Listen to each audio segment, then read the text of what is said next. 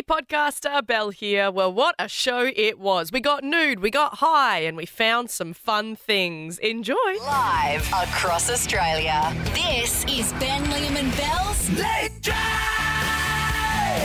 on Nova. Love Rat, Bill's the Love Rat. Yep, 13 24 10. We want to talk about nudes, but especially nudes gone wrong. If you've had a nude that's been seen by somebody that it shouldn't have, or you accidentally sent it, 13 24 10. We got a DM on Instagram from Misha. She said, Hey, Ben, Liam, and Belle, love the show. Thought I'd share something hilarious with you that happened to me this week. Sometimes on Insta, I'll share a sexy snap of myself to my close friends story and put a select few guys on the list so only they see it. I've done that. I love that move. Do it's the people best. do that? Yeah, yeah, yeah. Oh, yeah. I've never used the my friends close friends feature. In fact, I find sometimes when I'm on people's close friends, I'm like, I'm not that close with you. do you know what I mean? I'm like, I don't know you like that. Like, why am I? Why am I seeing the green ring here? Oh, I've no, I've I've done this before, where you put like a really like you know kind of revealing uh, picture, but you put it on close friends, and then you just like because you can only you can select just like two people to see it, Yeah, and then you can see when they've seen it. Maybe now's a good time to bring up, Bill. Can you take me off your close friends? Well, so listen to Misha's story. Maybe, yeah, this is kind of true. She said, I did this as usual on the weekend, and unfortunately, I accidentally ticked my brother to be on the list because he has the same name as one of the guys I've been chatting to. It's the worst. I didn't Oh. realise until it was too late. 13 24 10, nudes gone wrong. Isabel in Melbourne, good evening. What was the nude and what happened? Good evening. Uh, so I was going on a trip to Sydney with my mum for the weekend, and I put my phone on airplane mode as you do. And when we landed, when we were still on the plane, I turned my phone off to send a message to my partner saying, "Landed, I'm safe, all is well." And little did I know, whilst it was on airplane mode, he sent me a bunch of nudes, and my mother saw it all. Oh, oh. Right. Oh, oh. So you were just about to take off on the Jetstar flight, and he thought, "Have one of these. Bloody you like that? Yeah, enjoy your trip in Sydney with your mum. Ugh. This is what you're missing out on. okay. Where, you know, where did that come from? Isabel, we're going to give you a $50 Uber Eats voucher for sharing. Thank you very much. Kate in Brizzy, nudes gone wrong. What happened? Hi guys. So I um, had sent some nudes to my husband, who was just my boyfriend at the time, and um, somehow they got uploaded onto his daughter's iPad from his phone through the cloud. Oh, no. And uh, she was only about eight or nine at the time, so a little bit young. And um, she went and told her mother about it, and mum, not being happy with the new girlfriend situation, called the police on us.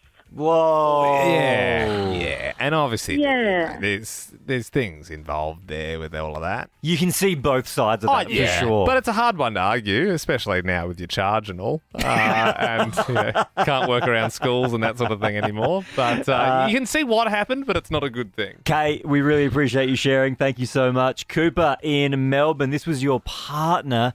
Nudes gone wrong.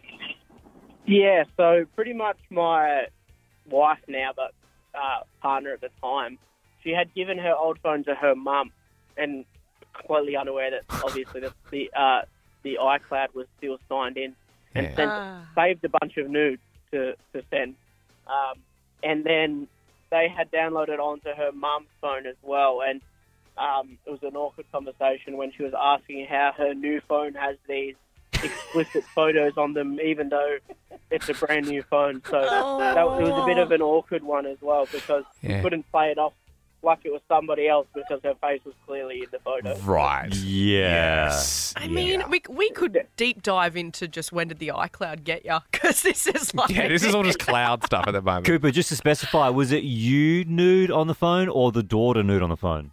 So it was the daughter, but the the nudes were on her on on my wife. Yeah, yeah, Yeah, gotcha, yeah, gotcha. yeah. And uh, were they tasteful, Coop, or? Well, to be honest, they weren't. They were. I wasn't with my partner then, so they weren't with me. I just ha- know the story through the grapevine. So Yeah, I right, thought well, I better call yeah. the dobber in. I don't know. I don't know if I can break it to you, but I don't know if they were too tasteful. they sounded nasty. Real nasty. Uh, anonymous in Brizzy. Nude's gone wrong. What happened? Um, I, I uh, sent a nude to who I thought was my boyfriend at the time, but it uh, was my female boss. Um, How? I was I was a new graduate nurse. Uh, it was after a night duty. I was tired. Um, well, that was my excuse. And my boss um, was a lesbian as well. So um, a lot of the girls that I worked on the ward with at the time, to this day, still say that she probably kept that nude. Oh, that sounds inappropriate. Um, was it was it a tasteful nude or was it nasty? It was for my boyfriend, so not overly tasteful. Oh, okay. Sounds like it was nasty. Trent in Brisbane. What happened? So I work in a pet store, and um, this customer was coming in and was showing me some of their like fish illnesses, and has gone to swipe through their their album, and all of a sudden that's where the uh, full on like photo came up of them in the act with their partner. Whoa! Right, and it's Yeah. it's good that you could tell the difference because if she was going through fish illness pictures Yeah, and then yeah. you breezed Really- straight through it and she went whoop, then it would be a problem. Trent, obviously, I bet you've seen some sick puppies in your time, but that might have taken it to another level. I mean, yeah, okay. Yeah. You got a joke you want to do, Bill? Liam did one, Oh, and this- I did one. yeah. Yeah, I was. Um, Go on. did you? Oh, Come on, Belle. Belle's about to do a joke, guys. Hey, hey, Anon in Adelaide, just hang there. Belle, um, Belle's going to do a joke, okay? Did she have any photos of her pussy? Ah, okay, well. Well, Belle, there's a line. So, there. There's a line, okay? It's That's 20 past close. six. I'm sorry, but you said no, sick I- puppy, and yeah, yeah. I think as a so show, me and. Liam formally apologise to everyone listening. I'm so, So- sorry. Yeah, you didn't need to do it. Anon, sorry about that. Um, no worries. Yeah, no, it's Oh. it's not it's not right. Um, anyway, um, nude's gone wrong. What happened? So um, I was with my boyfriend at the time, and we went and visited my grandparents' house. And we were looking through the family album, and I was showing him photos of me and my um, my siblings when we were young. And uh, we came across a photo of my grandmother lying on the couch naked. What? What? That's not something you want to yeah, yeah, and that was in the family uh, grandchildren album. So, Mm. how did that get in there? I could not tell you how it got in there, but that album got shut very quickly. see. Yeah, that sounds like it should have gone in Granddad's sneaky album. He sort of he might have had bad eyes and just got mixed up when he was you know arranging all the photos. Uh, Lee in Sydney, nude's gone wrong. Oh, hey. So um, uh, my hub- hubby was away for a couple of days at a conference, and I was alone and taking some sexy, very raunchy selfies. I sent him those, not realizing uh, he was actually presenting at that time to the conference of 300 people with his computer hooked up to the big screen. Oh, no. Oh, no. My bad. So Oh. it popped up on the what on the projector, basically. on the That's- projector at an IT conference. So Oh, 300 God. men uh, got to see everything. And it would have sound it would have the sound would have been like a first round knockout at the MGM Grand. Do you know what I mean? Like the, the, the eruption. You know, three hundred people. Like you had it. You you are going. Oh my god, what have I done with my life? I'm at an IT conference. I hate this. I hate everything about this. This is so boring. I've been here for days, and then all of a sudden, just a flurry of nudes from the poor guy presenting to start popping up on the projector. You'd be like, ah, oh, highlight of the this weekend. is the best. What a legend. Arisa Trew, 14 year old girl winning gold at the games, and her big secret of how she did it has been revealed by her coach. Aussie skateboarder Arisa Trew got some crazy advice from her coach before going on to win Olympic gold. He said, Skibidi Sigma. While it might mean nothing to many people, it gave Trew the boost she needed to win gold. She said, It's just like a joke that I have with all my friends because Sigma is like the top.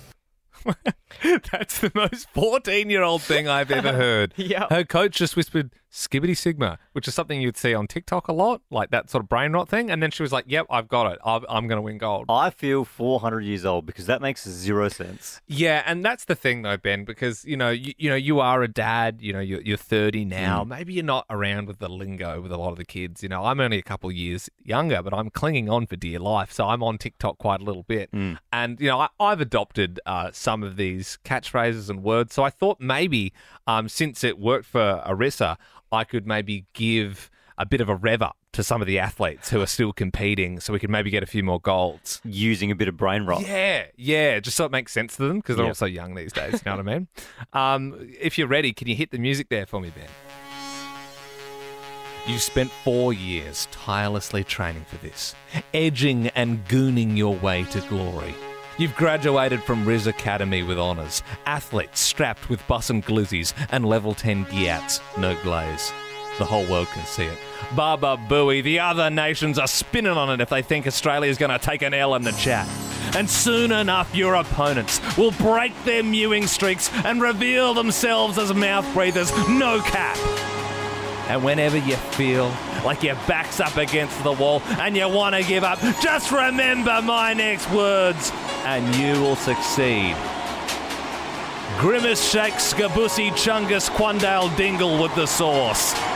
Now I'm gonna let you cook because you're all locked in Sigmas with a thousand aura points. Bring it home for Australia. W's in the chat. W's in the chat.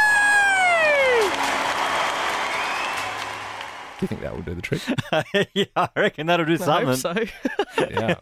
Yeah. Do you remember what I said? Grimace shakes Skabusi, Chungus, Quandale Dingle with the sauce. So you just remember that, guys. If you're ever feeling like a little down or whatever, you just think of that. And yeah, you can do anything. Yeah. 13, 24, 10. What did you find? Now, I know that's pretty broad, but if you ever found something and you need to tell us about it, 13, 24, 10. I found a safe in my rental in Adelaide under the carpet. Yeah, Oh, remember that's that? And the carpet came up and I was like, what's under here? Safe. And we did a thing on the show where we got listeners to come to my house, which Mm. is in hindsight kind of crazy. and they um they had turns at trying to crack the safe and then we got like a professional safe guy and unfortunately there was nothing in the safe. The reason I mention this is because there's a big hurricane at the moment over in America, Hurricane Debby, and that has washed up 32 kilos of cocaine. Mm-hmm. The On Colum- a- Colombian marching powder. Yes, on a beach in Florida, and a good Samaritan has called the police. Amazing. Imagine going for your morning beach stroll. There Mm. you go. 32k. You know, some people are, oh, why wouldn't you take that? I think you would you would call the police for that. Or like Yeah. or, tr- or Yeah. or just to be honest, just walk past it. Mm. because someone is going to kill you. if, they, if, if that much illicit substance has gone missing, someone wants to kill you. Oh yeah, of course, because uh, the street value of 32 kilos. Mm-hmm. One million dollars. Whoa. Yeah. And Dr. Evil would miss that for sure. Uh, David, in Sydney, what did you lose? Was it, it wasn't a million dollars worth of cocaine, was it? Oh, I didn't lose something, but I certainly found something. I um, I Oh, moved in yeah, my sorry, house. I forgot. No, I just, yeah, no, you're right. No, we are doing, we're doing what did you find? Yeah, no, I, f- yeah, I only just heard what Ben said as well. So I thought, I thought it we were doing what did you lose? Uh, I'm glad you're listening, David. Thank you very much. What did you mate. find? Thought I called for the wrong topic. Um, so did I find something? I um, I moved into my house about two years ago, yeah, and um, never thought to check the roof because like I just had no reason to. Um, but earlier this year, I had some water coming through, so got the ladder, got my torch, got up the manhole cover, mm-hmm. turned it on, and I right in front of me, can't believe it, an actual coffin, like a full blown oh, No. real coffin, Whoa. empty. It was empty, thankfully, but oh my god. Coffin up in the roof. Yeah, don't know. I- Look, I'm surprised it like had had some MDF and it was sitting there. Like I'm surprised I didn't have it come through at some stage. That would have been a bit worse. And a pain in the ass to get a coffin up a manhole. Yeah. I, I find it hard enough getting up the manhole, but getting a whole coffin up there. Absolutely. David, thank you so much for sharing. I'm going to give you a $50 Uber Eats voucher. Sophia in Sydney, what did you find? Hi guys, how are you? Good. Um, so we were doing some work at the neighbour's house because some new people moved in. We became friends with them, and um, as we were doing some work, we found in the walls some old um, adult films. Oh, right. Oh, some like Yeah. some pianos. Yeah, some scandalous stuff. And and so someone had like put them in the drywall? Yeah. Oh man. so weird. I don't know. Yeah, the people who lived there previously must have. Someone obviously wanted to hide it. Yeah, and that's the thing. Like, obviously, that that's just seems like a shameful man trying to hide it from his wife. But I love the idea of every time that guy's wife goes to the shops, he has to punch a hole through the drywall, quickly get the job done, and then plaster them up. She's like, "Have you been doing some DIY? Like, has, what's what happened?" Sophia, thank you very much. Uh, Rhiannon in Sydney, what did you find? Uh, well, my husband and I, we were taking the dog for a walk. We'd gone through the bush and ran to the local park. And as we're coming round the um, the back of the amenities building, we find 18 big garbage bags um, round the back, and thinking that someone dumped rubbish.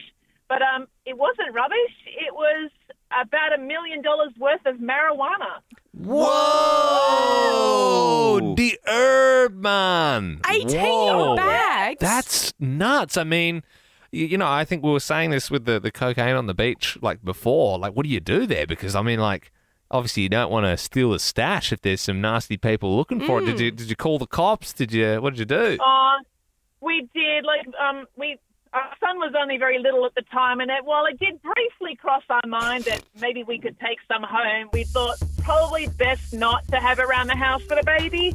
Um, so we were responsible and called the cops. Yeah, after lighting up a big doink, though, I'm sure. There's only 17 bags left by the time the cops came. Clayton in Brizzy, tell us what did you find? Uh, I was doing a couple of seasons in Sunshine and Whistler, and we were doing a snowboard day, and I lost my Go, uh, GoPro off my helmet. Mm.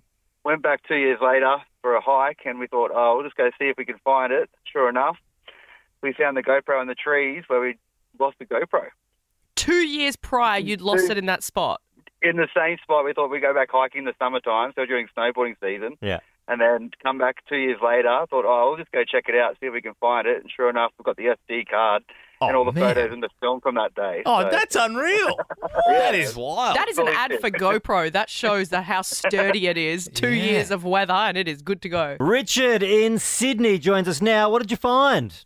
Hi, mate. How we doing? Um, so I was shopping at the at the local McDonald's.